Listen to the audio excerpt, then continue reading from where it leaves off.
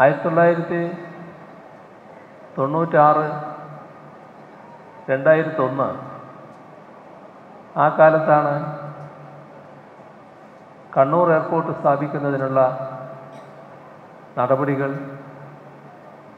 അന്നത്തെ നയനാർ ഗവൺമെന്റ് സ്വീകരിക്കുന്നത്. അതിന്റെ ഭാഗമായുള്ള പദ്ധതികൾക്ക് അംഗീകാരം വാങ്ങൽ ഭൂമി ഏറ്റെടുക്കാനുള്ള ശ്രമം ഭൂമി കണ്ടെത്തൽ ഇതെല്ലാം ആ ഘട്ടത്തിലുണ്ടായി. രണ്ടായിരത്തി ഒന്നിൽ യു ഡി എഫ് അധികാരത്തിൽ വന്നു. ഈ പറഞ്ഞ കണ്ണൂർ എയർപോർട്ട് വേണ്ടതില്ല. എന്ന നിലപാടായിരുന്നു യു ഡി എഫ് സർക്കാർ സ്വീകരിച്ചത്. അതിന്റെ ഫലം രണ്ടായിരത്തി ഒന്നിൽ എവിടെയാണോ നിന്നത് അവിടെ തളച്ചിട്ടു. അതിനപ്പുറം ഒരു ഫയലും നീങ്ങിയില്ല. പൂർണ സ്തംഭനാവസ്ഥ രണ്ടായിരത്തി ഒന്ന് മുതൽ രണ്ടായിരത്തി ആറ് വരെ ഒരനക്കവുമില്ലാതിരുന്ന കണ്ണൂർ എയർപോർട്ടിന് പിന്നീട് ജീവൻ വെക്കുന്നത് രണ്ടായിരത്തി ആറിൽ എൽ ഡി എഫ് സർക്കാർ അധികാരത്തിൽ വന്നപ്പോഴാണ്. ആ ഘട്ടത്തിലാണ് ഭൂമി ഏറ്റെടുക്കൽ നടപടികൾ തുടർച്ചയുണ്ടാകുന്നത് നല്ല വേഗതയിൽ ഭൂമി ഏറ്റെടുക്കുന്നതിനും അതിന്റെ ഭാഗമായി കണ്ണൂർ എയർപോർട്ട് യാഥാർത്ഥ്യമാക്കുന്നതിനുമുള്ള നടപടികൾ സ്വീകരിച്ചു. അത് ഒരു ഘട്ടത്തിലേക്ക് എത്തി. ആ ഗവൺമെന്റ് രണ്ടായിരത്തി പതിനൊന്നിൽ പോയതിന് ശേഷം രണ്ടായിരത്തി പതിനൊന്ന് മുതൽ പതിനാറ് വരെ യു ഡി എഫ് ഗവൺമെന്റാണ് അധികാരത്തിലുണ്ടായത്. കഴിഞ്ഞ രണ്ടായിരത്തി ഒന്ന് മുതൽ രണ്ടായിരത്തി ആറ് വരെ അധികാരത്തിലുണ്ടായിരുന്ന യു ഡി എഫ് സ്വീകരിച്ച അതേ സമീപനം സ്വീകരിക്കാൻ പറ്റാതെ വന്നു.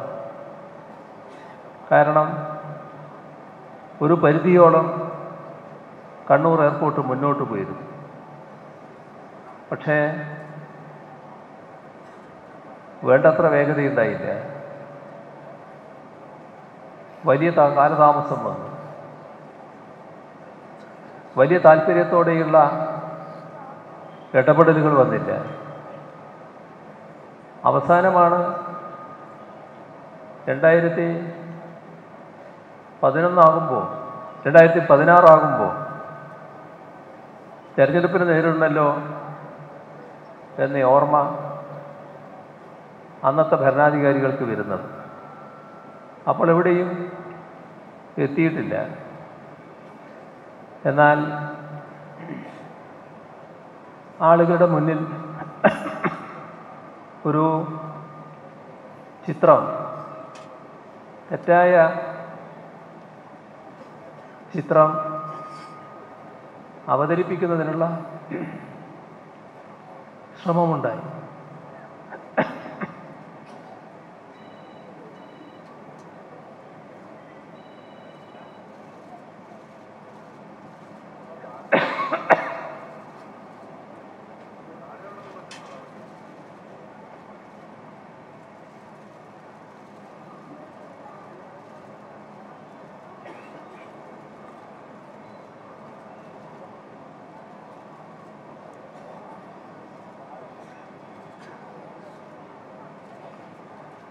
എവിടെയും?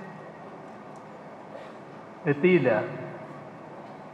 എന്നാലും ആ എയർപോർട്ട് ഉദ്ഘാടനം ചെയ്തു എന്ന് കാണിക്കണം. അതിനായി നല്ലൊരു പരുക്കൻ സ്ഥലം കിട്ടിയാൽ ഇറങ്ങാൻ പറ്റുന്ന എയർക്രാഫ്റ്റ് കണ്ടെത്തി.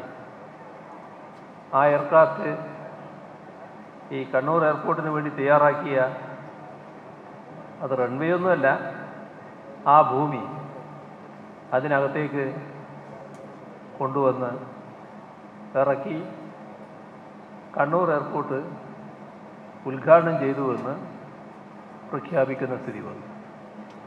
ഇത് നമ്മുടെ അനുഭവമാണ്.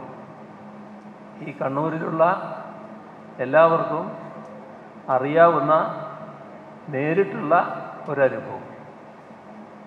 ഇത് ഒരു എയർപോർട്ടിന്റെ കാര്യത്തിൽ മാത്രമല്ല നിരവധി ഇതുപോലുള്ള പദ്ധതികളുടെ കാര്യത്തിൽ യു ഡി എഫ് സ്വീകരിച്ച സമീപനമാണ്.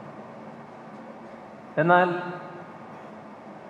എൽ ഡി എഫ് സ്വീകരിക്കുന്ന സമീപനം തീർത്തും വ്യത്യസ്തമായി ഒന്നാണ്.